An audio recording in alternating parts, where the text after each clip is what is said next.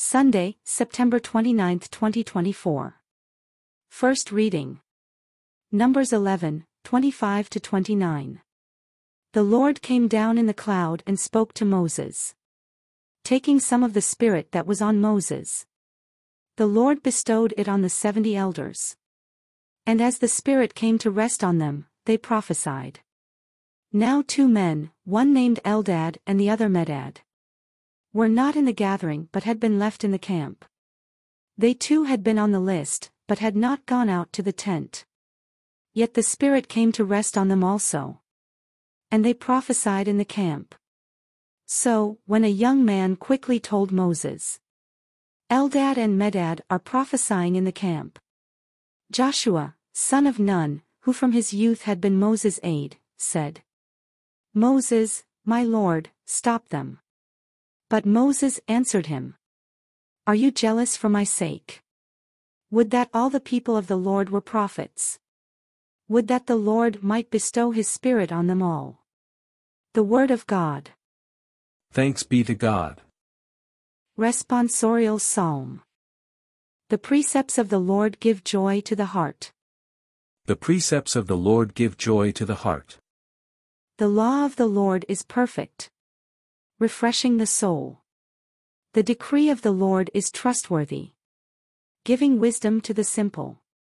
The precepts of the Lord give joy to the heart. The fear of the Lord is pure.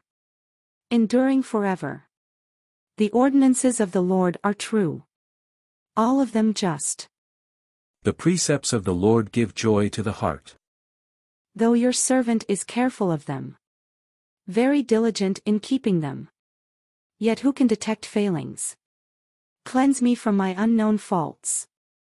The precepts of the Lord give joy to the heart. From wanton sin especially, restrain your servant. Let it not rule over me. Then shall I be blameless and innocent. Of serious sin.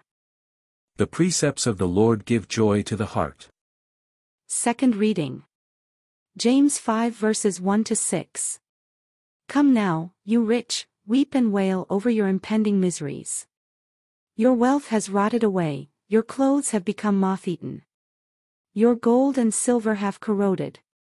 And that corrosion will be a testimony against you. It will devour your flesh like a fire. You have stored up treasure for the last days. Behold, the wages you withheld from the workers. Who harvested your fields are crying aloud.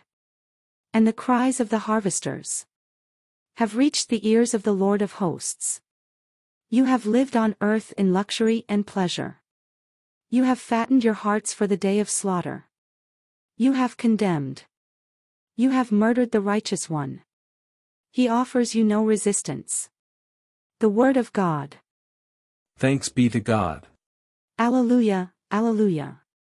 Your word, O Lord, is truth. Consecrate us in the truth. Alleluia, Alleluia. The Lord be with you.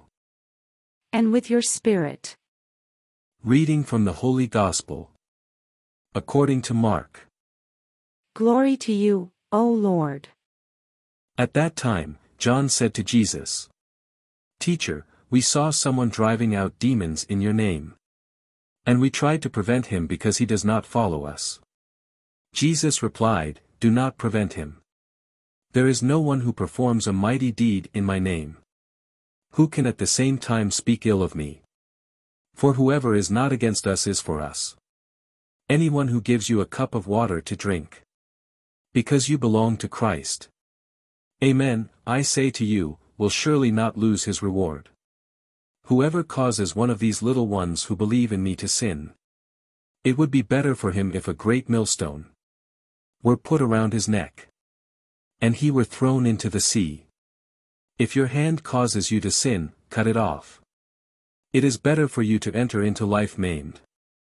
Than with two hands to go into Gehenna. Into the unquenchable fire. And if your foot causes you to sin, cut it off.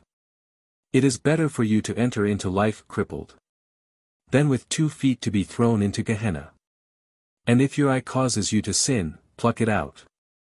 Better for you to enter into the kingdom of God with one eye Than with two eyes to be thrown into Gehenna. Where, their worm does not die, and the fire is not quenched. The Gospel of the Lord. Praise you Lord Jesus Christ.